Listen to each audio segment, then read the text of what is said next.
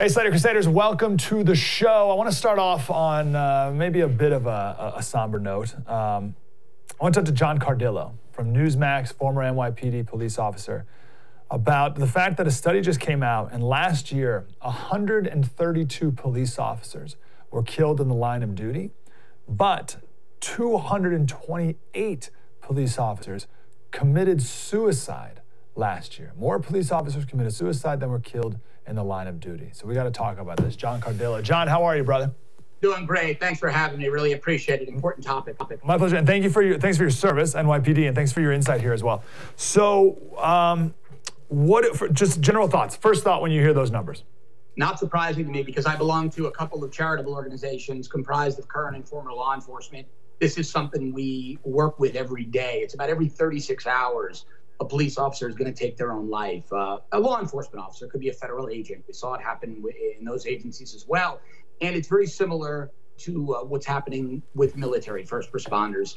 The causes, the PTSD, stress of the job, the stigma of seeking what they call early intervention help is, is very much the same give us and obviously there's a lot of reasons why right and you just yeah. touched on a few but what, what are what's like a common what are some of the most common reasons that we need to be aware of think of it in a linear fashion right the the catalyst is always going to be i shouldn't say always but most often we find in the subsequent investigation that the catalysts are either a personal issue say a domestic situation at home or ptsd from the job you're dealing with the worst of the worst every day the bigger issue is the stigma attached to seeking help and so with the NYPD, for example, it's called early intervention, typical term used.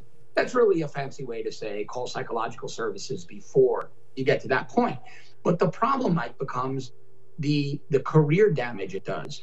In New York City, we used to call it the rubber gun squad. They take your gun away. You might be precluded from ever joining an elite detail. So there's a very old school approach to the reporting system and the way the reportee, the person reporting either themselves or a family member, says they need some help the residual effects to their reputation, their career. And that's preventing many people from seeking help who really need it. There needs to be a sea change in terms of procedure and ideology in that regard. Uh, that makes a lot of sense. So on my radio show yesterday, I forget how we got on this, but we started pontificating about therapy and like why there's this weird stigma in in mm-hmm. our culture about therapy when really therapy is just learning more about yourself and why you do things and trauma that happened in our li- in your life and everyone had trauma earlier in their life that changes how they think and what right? It's like why is there stigma on wanting to better yourself? But you just articulated a very rational logical reason why uh, uh, some police officer would not want to seek help because there's some real down the road problems with that. So what yeah, type of it's, it's for what you said there's the bravado aspect of it right? Like you're supposed to be a tough cop you're supposed to be able to see the gore and, and the blood and the death that's not supposed to affect you. Gallows humor is the way you cope with it. And so there's this this reluctance to say, hey, I am affected. I need a little bit of help here. Yeah. So how do we change the the the not even the culture? That's one thing. Let's start there, culture, and then also the you mentioned like, well, you may get your gun taken, you will get your gun taken away, and you may never be on an elite team again, whatever. So how do we change the culture, and how do we change like the actual um, like professional aspects of it. Let's go to the let's go to the uh, second part first. That's easier to do, yeah. right? The NYPD, for example, and they're a good model to use, the largest agency in the world, much bigger than the FBI. So a lot of what law enforcement wow. does worldwide is, yeah, the NYPD is so big that when I worked there, if we were an army, we would have been the 38th largest standing army in the world. Put that in perspective, right? Whoa. The NYPD commissioner runs about 35,000 uniform, 35 to 38,000 uniformed gun and shield carrying cops. And so the uh, their policies tend to be alongside the FBI, the book, the proverbial book. When somebody has an alcohol problem in the NYPD, Mike, there's something called the farm, and they can go very discreetly. And oftentimes it'll be couched as a leave of absence, a vacation.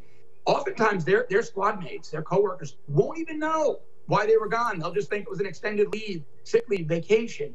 But we don't do this with psychological health intervention, mental health intervention. Now, the NYPD has a great program where if you're not on probation, you're not facing any departmental charges, and you want to take a leave of absence, you want to do what we do, you want to try your hand at media, you can take up to a year leave of absence and get your job back, no questions asked. Why not put a similar mechanism in place for psychological help intervention? Don't tell anybody the reason that you're off patrol or out of the command. Keep it as discreet as the alcoholism leave of absence or a professional leave of absence. It's no black strike on your record. And when you come back, if the doctors clear you, you pick up where you left off. So there are some very easy ways to solve that mechanical problem, that procedural yes. problem, the cultural, the ideological problem. That's the bigger one to tackle. But I think if you take the stigma out of the equation by keeping confidential why there was a leave, why that officer is no longer in that command, you solve a big part of that other problem as well.